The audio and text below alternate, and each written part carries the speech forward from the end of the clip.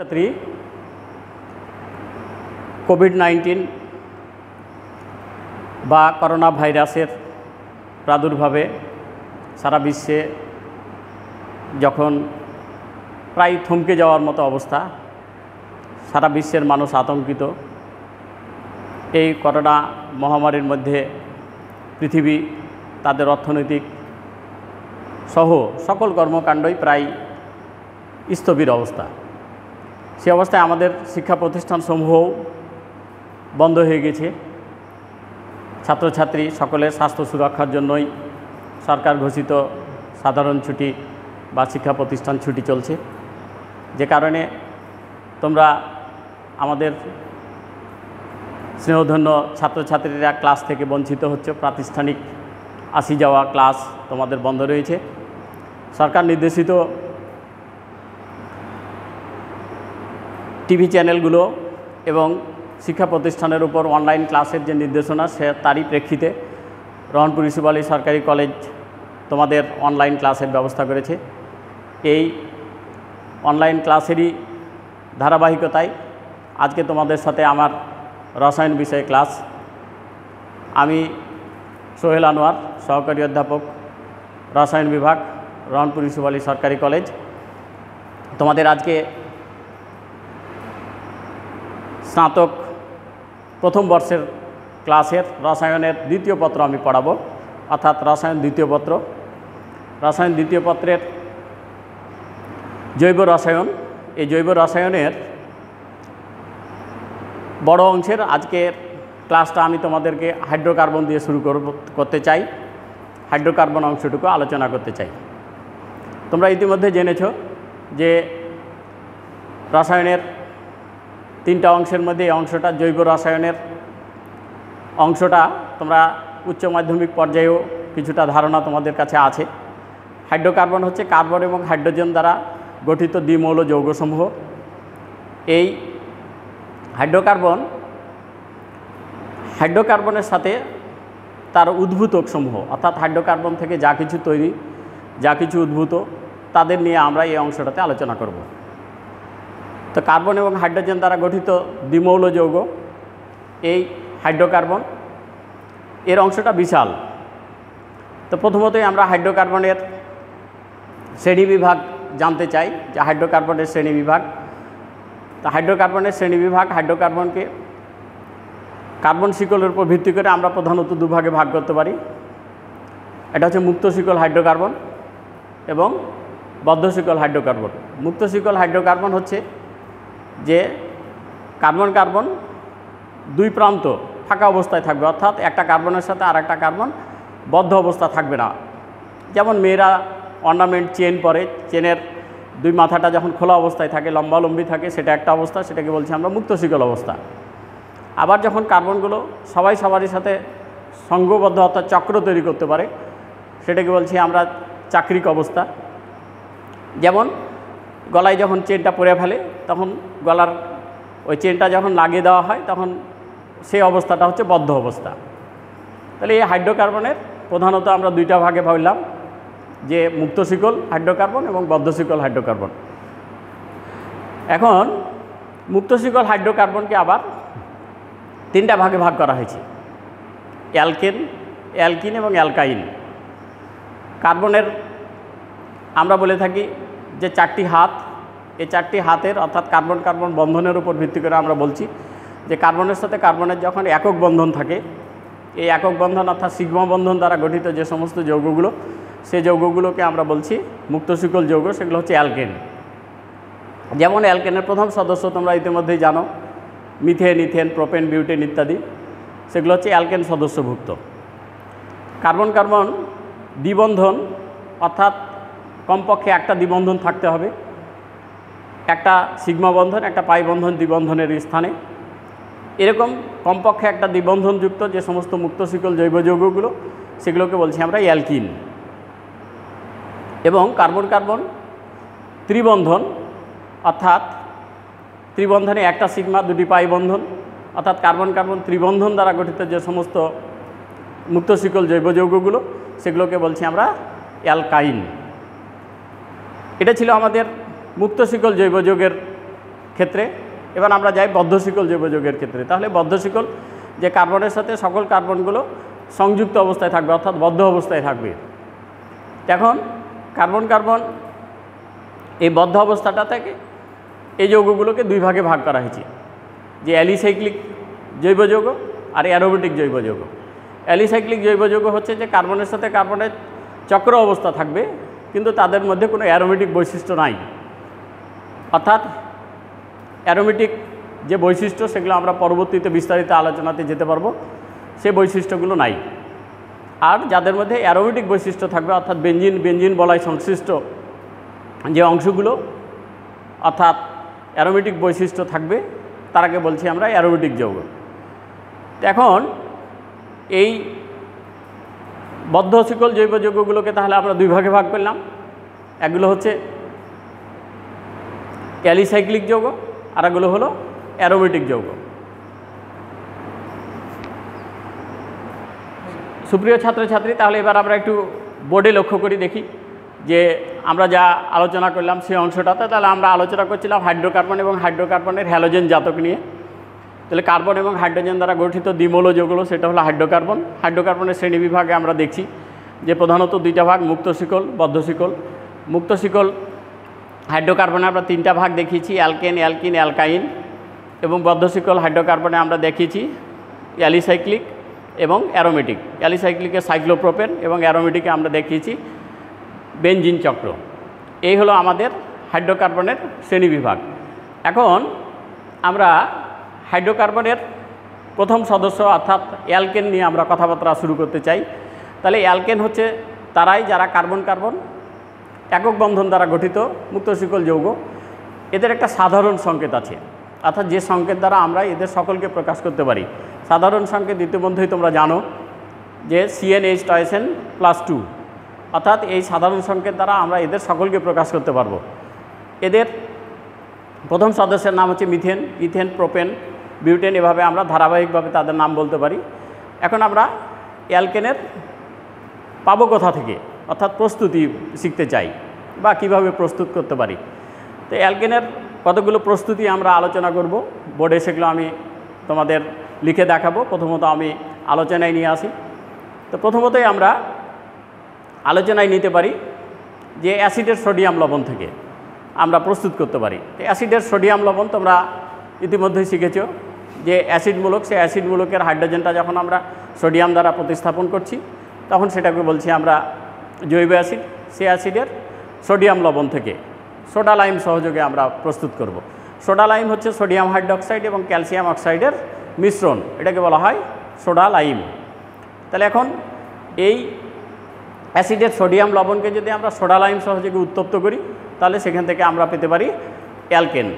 সেখান থেকে আমরা সরাসরি মিথেন, ইথেন ইত্যাদির প্রস্তুত প্রণালী পেতে পারি। এটা একটা প্রস্তুতি আমাদের গেল। এবার আছে কি যে অ্যালকিন থেকে আমরা তৈরি করতে পারি।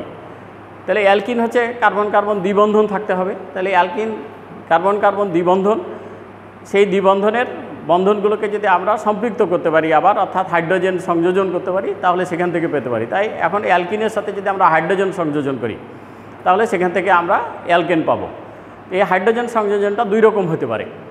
প্লাটিনাম বা প্যালাডিয়াম প্রভাবকের উপস্থিতিতে তোমরা যদি করো, তাহলে প্লাটিনাম বা প্যালাডিয়াম প্রভাবকের উপস্থিতিতে কক্ষ তাপমাত্রাতেই এবং কক্ষ চাপেই বিক্রিয়াটা ঘটবে। কিন্তু যদি আমরা নিকেল প্রভাবকের উপস্থিতি নিয়ে করতে চাই, তাহলে প্রভাবক চেঞ্জ করলে সেক্ষেত্রে আমাদের শর্তও চেঞ্জ হয়ে যেতে পারে। সেক্ষেত্রে তখন আমাদের তাপমাত্রা লাগবে দেড়শো থেকে একশো আশি ডিগ্রি সেলসিয়াস তাপমাত্রা লাগবে এবং দেখা যাচ্ছে যে একটু চাপের পরিমাণটাও বেশি লাগবে। তখন বিক্রিয়াটা করবে। তাহলে সেক্ষেত্রে অ্যালকিনের সাথে যখন হাইড্রোজেন সংযোজন হবে, তখন সেখান থেকে পেতে পারি আমরা অ্যালকেন। তা আমি বোর্ডে তোমাদের বিক্রিয়াগুলো আবার দেখাবো। ঠিক একইভাবে আমরা পেতে পারি, দেখা যাচ্ছে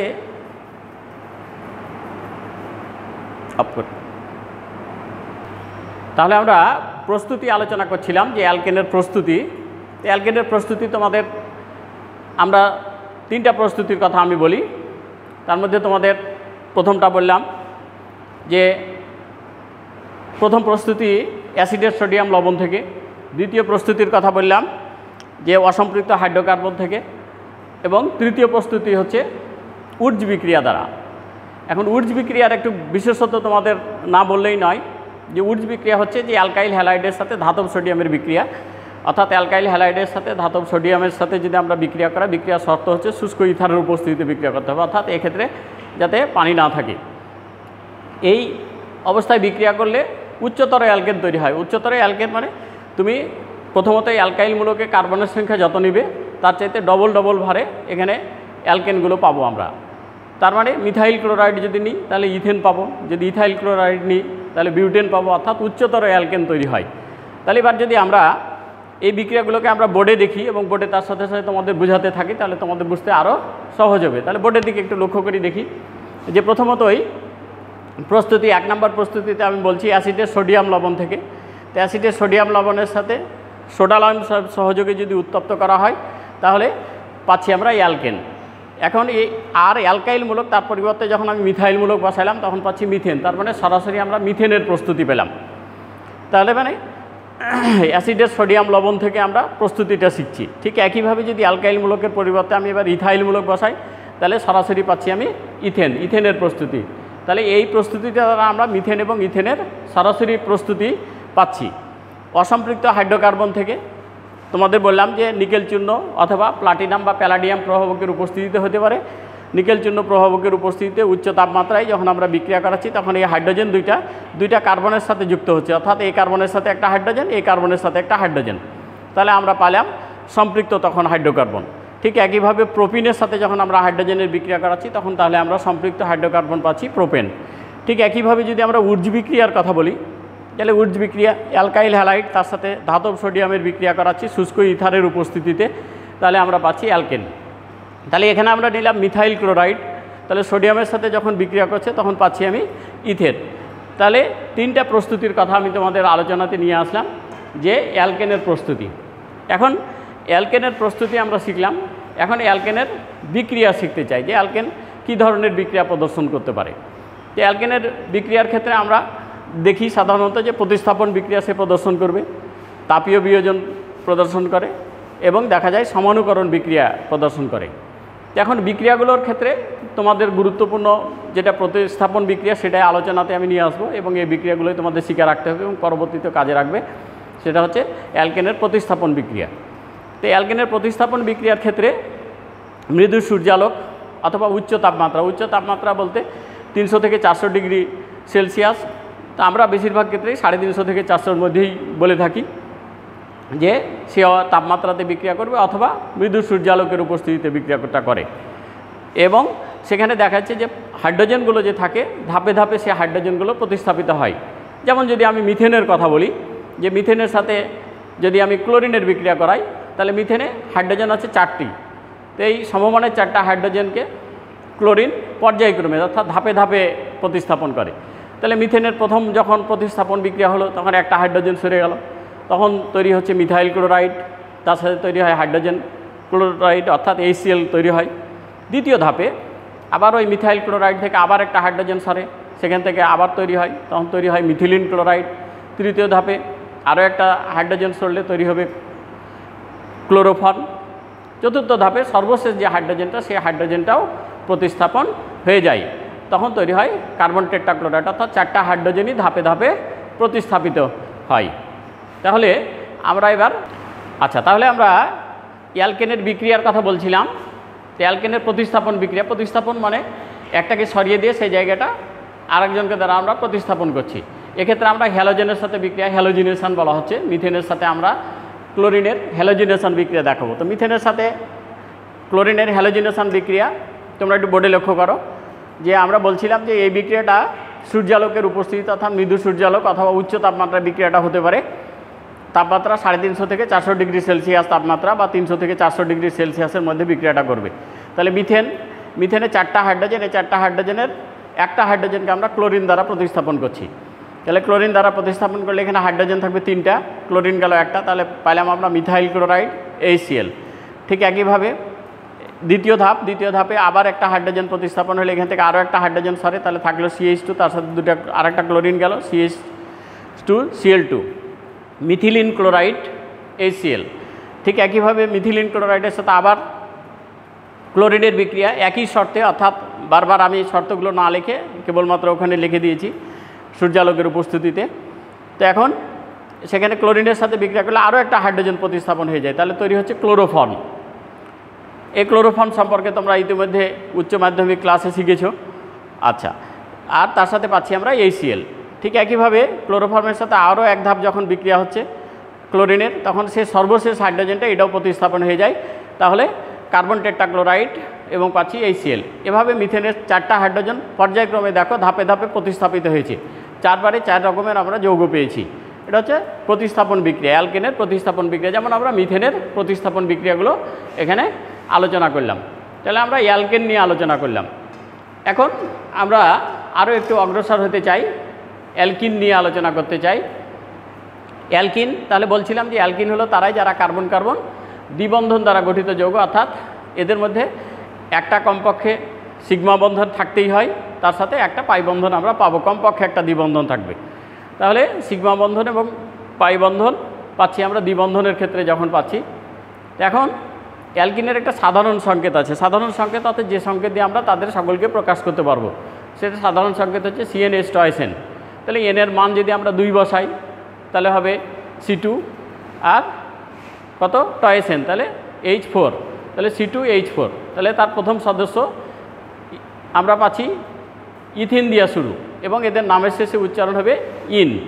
তাহলে ইথিন, প্রোপিন, বিউটিন ইত্যাদিভাবে আমরা নামগুলো পাবো। তো ইতিমধ্যেই তোমাদের উচ্চ মাধ্যমিক পর্যায়ে এগুলো শেখানো হয়েছে, জানো তোমরা। তাহলে এখন আমরা এর প্রস্তুতি দেখি। গবেষণাগার প্রস্তুতি বা ল্যাবরেটরিতে আমরা প্রস্তুতি যদি বলি, তাহলে অ্যালকোহল থেকে এটা আমরা প্রস্তুত করতে পারি, ইথানল থেকে ইথিন তৈরি করতে পারি বা ইথিলিন তৈরি করতে পারি। তাই অ্যালকোহল, ইথাইল অ্যালকোহল, ইথাইল অ্যালকোহলকে যদি আমরা দ্বিগুণ পরিমাণে সালফিউরিক অ্যাসিড অর্থাৎ দ্বিগুণ পরিমাণ গাঢ় সালফিউরিক অ্যাসিডের সাথে যদি বিক্রিয়া করাই, তো এই সালফিউরিক অ্যাসিড নিরোধক পদার্থ অর্থাৎ তারা পানি শোষণ করে। সে করে কি, অ্যালকোহল থেকে এখনও পানি শোষণ করে নাই। ফলে তৈরি হয় তখন ইথিন তাহলে আমরা বিক্রিয়াগুলো বোর্ডে পর্যায়ক্রমে দেখব। এটা একটা প্রস্তুতি পেলাম আমরা। তারপরে আর ডাই হ্যালো যৌগ থেকে আমরা তৈরি করতে পারি। ডাই হ্যালো যৌগ মানে দুটা হ্যালোজেন পরমাণু থাকবে। হ্যাঁ দুটা হ্যালোজেন পরমাণু পাশাপাশি দুই কার্বনে থাকতে পারে। এখন এই পাশাপাশি দুই কার্বনে হ্যালোজেনযুক্ত যৌগ, তাকে যদি আমরা জিঙ্ক চূর্ণ সহযোগে পাতন করি অ্যালকোহলীয় অবস্থায়, অর্থাৎ মিথাইল অ্যালকোহলের উপস্থিতিতে তাহলে দেখা যায় সেখান থেকে হ্যালোজেনগুলো সরে যায়। সরে গেলে সেখানে দ্বিবন্ধন তৈরি হয়। সেভাবে আমরা তৈরি করতে পারি। তাহলে এখন যদি আমরা এই প্রস্তুতিগুলোকে বোর্ডে নিয়ে আসি, অর্থাৎ তোমাদের বোর্ডে আলোচনাতে যাই, তাহলে দেখাই। আচ্ছা তাহলে এবার আমরা অ্যালকিনের কথা বলছিলাম। তাহলে অ্যালকিনের ক্ষেত্রে আমরা যাই। তাহলে অ্যালকিনের ক্ষেত্রে আমরা কমপক্ষে কার্বন কার্বন দ্বিবন্ধন পাবো। সাধারণ সংকেত আমরা শিখলাম। এবার প্রস্তুতি, অ্যালকোহল থেকে প্রস্তুতি, ইথানল থেকে আমরা দেখাচ্ছিলাম, ইথিনের প্রস্তুতি। তো ইথাইল অ্যালকোহলকে যদি আমরা গাঢ় সালফিউরিক অ্যাসিড সহ একশো ষাট থেকে সত্তর ডিগ্রি সেলসিয়াস তাপমাত্রায় উত্তপ্ত করি, তাহলে পাচ্ছি আমরা ইথিন। সালফিউরিক অ্যাসিড সে পানিটাকে শোষণ করে ফেলে। ডাইহ্যালো যৌগ থেকে আমরা জিঙ্ক চূর্ণ সহ যদি উৎপাদন করি, তাহলে দেখা যাচ্ছে আমরা অ্যালকিন পাবো। সাথে জিঙ্ক ব্রোমাইড পাচ্ছি। যেমন আমরা one two dibromo ethane, one two dibromo ethane. অর্থাৎ এখানে একটা ব্রমিন এখানে একটা ব্রমিন আছে। সেটাকে জিঙ্ক চূর্ণ সহ যদি আমরা পাতন করাতে পাচ্ছি আমরা, তখন আমরা পাচ্ছি ইথিলিন বা ইথিন, তার সাথে পাচ্ছি জিঙ্ক ব্রোমাইড। আচ্ছা তাহলে আমরা আলোচনা করলাম অ্যালকিনের প্রস্তুতি নিয়ে। এবার আমরা যাই অ্যালকিনের বিক্রিয়ায়। তাহলে অ্যালকিনের বিক্রিয়াগুলোকে বিভিন্ন রকমের বিক্রিয়া আছে। সে বিক্রিয়াগুলো আমি বোর্ডে একটা একটা করে আলোচনা করতে থাকি এবং তোমাদের দেখাতে থাকি। তাহলে তোমাদের জন্য বুঝতেও সুবিধা হয়। প্রথমতই আমরা সংযোজন বিক্রিয়া, সংযোজন বিক্রিয়াগুলো আমরা দুই রকমের বিক্রিয়া আলোচনা করব, হাইড্রোজেন সংযোজন এবং হ্যালোজেন সংযোজন। সংযোজন বিক্রিয়া, হাইড্রোজেন সংযোজন, নিকেল চূর্ণ প্রভাবকের উপস্থিতিতে একশো পঞ্চাশ থেকে একশো আশি ডিগ্রি সেলসিয়াস তাপমাত্রায় যদি আমরা বিক্রিয়া করাই তাহলে সেখান থেকে পাবো আমরা সম্পৃক্ত যৌগ। যেমন ইথিনের সাথে যদি আমরা হাইড্রোজেন সংযোজন করি, তাহলে পাবো ইথেন। ঠিক একইভাবে যদি আমরা হ্যালোজেন সংযোজন করি হ্যালোজেন, কার্বন টেট্রাক্লোরাইডের উপস্থিতিতে যেমন ব্রোমিনের সাথে যদি আমরা বিক্রিয়া করাই, তাহলে ব্রোমিনের বর্ণটা হচ্ছে রক্তবর্ণ। এই রক্তবর্ণের ব্রোমিন অসম্পৃক্ত যৌগের সাথে যখন বিক্রিয়া করে, যেমন ইথিনের সাথে বিক্রিয়া করে, তখন বর্ণটা হারিয়ে যায়।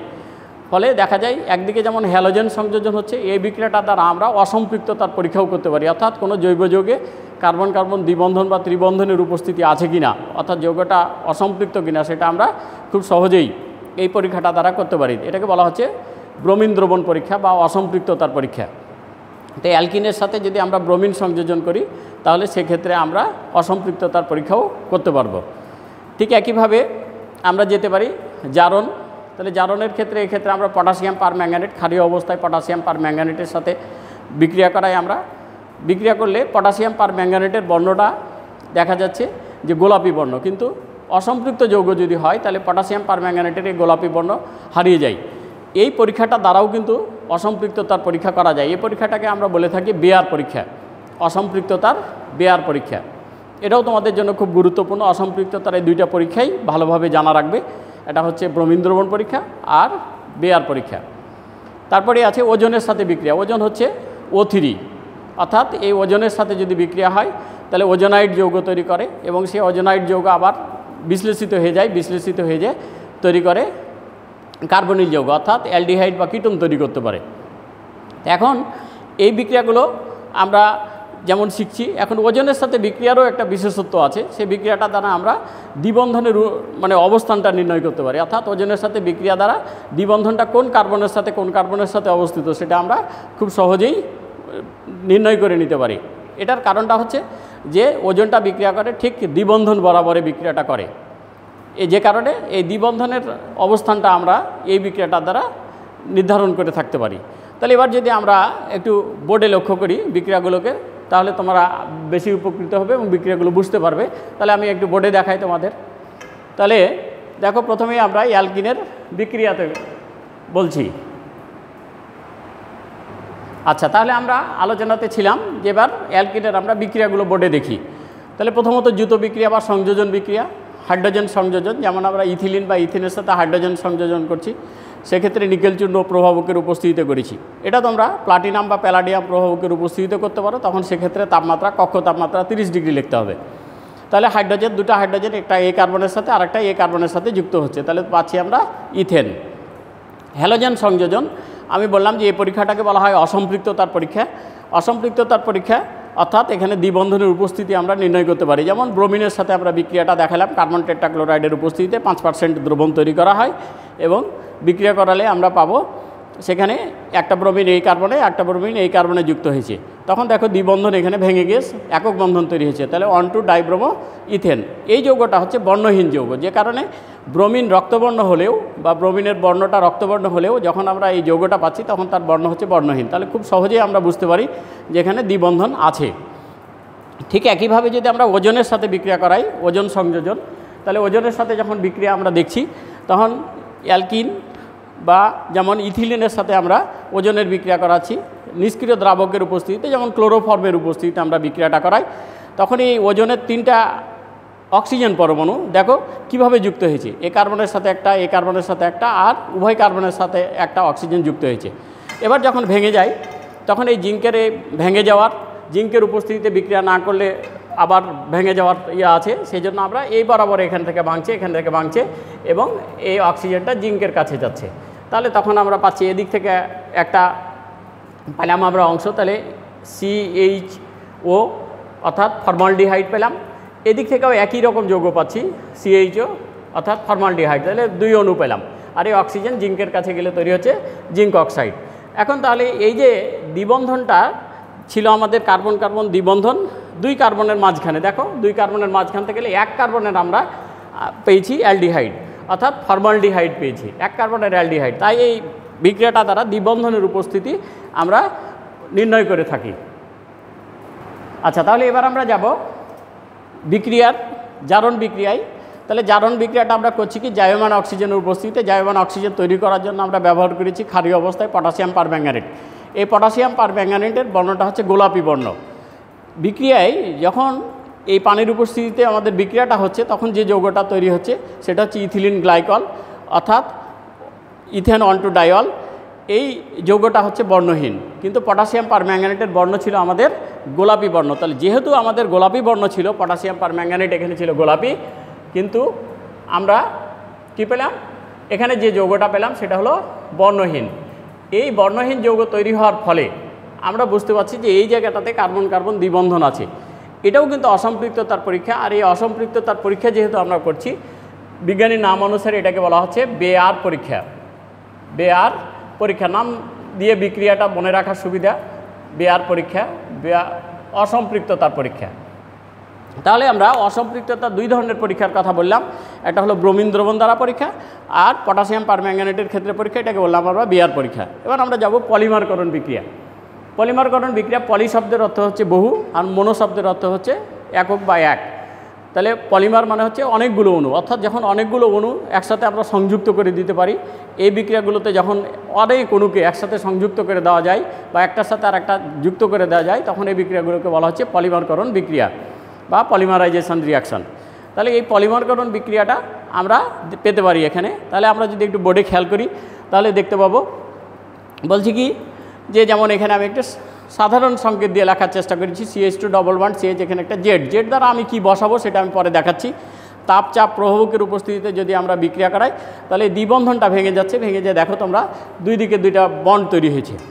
তাহলে যেমন যদি আমি ধরি এখানে, যদি ইথিলিন বা ইথিন আমরা নেই, তাহলে সেক্ষেত্রে এক হাজার অ্যাটমসফিয়ার চাপ, দুশো ডিগ্রি সেলসিয়াস তাপমাত্রায় অক্সিজেনের উপস্থিতিতে বিক্রিয়া করলে এই দুই জায়গার দ্বিবন্ধনটা ভেঙে যায়। অর্থাৎ এখানটা ভেঙে যায় দুই দিকে দেখো তৈরি হয়েছে ফাঁকা অংশ। তাহলে এখান থেকে তৈরি হচ্ছে, ছিল আমাদের ইথিলিন বা ইথিন, তৈরি হচ্ছে পলি ইথিন তার মানে যে আমরা পলিথিন সিট পলিথিন পেপার ব্যবহার করি, সেটাই হচ্ছে পলি ইথিন বা পলিথিন। এখন এটা খুব সহজেই আমরা বুঝতে পারছি যে এখানে যে বন্ধনগুলো আছে, এটার সাথে একটা অণুর সাথে আর একটা অণু যুক্ত হয়, এন সংখ্যক অণু এন সংখ্যক অণু কতটি সেটা আমরা জানি না, বিলিয়ন, ট্রিলিয়ন অণু যুক্ত হতে পারে, তৈরি হতে পারে পলিইথিন। ঠিক একই বিক্রিয়া দ্বারা আমরা যদি দেখাই, এই জেডের মানটা যদি আমরা পর্যায়ক্রমে চেঞ্জ করতে থাকি। তাহলে দেখো এই জেডের পরিবর্তে যদি আমি বসাই মিথাইলমূলক তাহলে তখন আমি পাবো পলিপ্রোপিন সেটা এক ধরনের পলিমার যদি আমি এখানে ক্লোরিন যুক্ত করি জেডের পরিবর্তে, তাহলে তখন এখানে আমি পাবো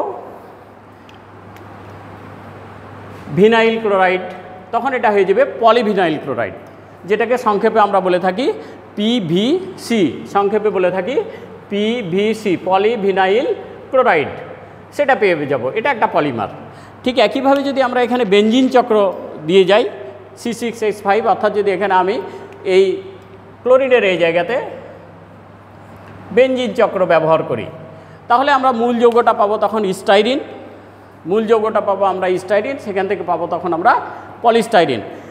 তখন যে যৌগটা পাবো সেটাকে বলব আমরা পলিস্টাইরিন। তাহলে দেখো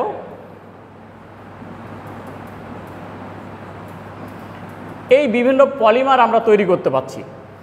এই বিক্রিয়াগুলোকে বলছি আমরা পলিমারকরণ বিক্রিয়া বা পলিমারাইজেশন রিয়াকশান। তাহলে আমরা তোমাদের সাথে যে আলোচনার অংশতে ছিলাম, আজকে আমরা হাইড্রোকার্বনের যে অংশগুলো আলোচনা করছিলাম, প্রথমত অ্যালকেন তোমাদের পড়ালাম, তারপরে অ্যালকিন পড়ালাম, অ্যালকিনের বিক্রিয়া অ্যালকিনের বিক্রিয়া। এই পর্যায়ক্রমে আমরা আরও তোমাদের সাথে ক্লাসে উপস্থিত থাকব। এই উপস্থিতির মধ্যে দিয়ে তোমাদেরকে যতটুকু আমরা উপকৃত করতে পারি, তোমরা এই ক্লাসগুলোকে ফলো করো। আমাদের সম্মানিত শিক্ষকদের ক্লাসগুলো, আমাদের বিষয়ের ক্লাসগুলো তোমরা ফলো করো। অবশ্যই তোমরা উপকৃত হবে। তোমরা যে যেখানে আছো, যেভাবে আছো, সবাই সুস্থ থাকো, সুন্দর থাকো। তোমাদের সকলের সুস্বাস্থ্য কামনা করি, করেই আজকে আমি আমার ক্লাস শেষ করছি। ধন্যবাদ সকলকে।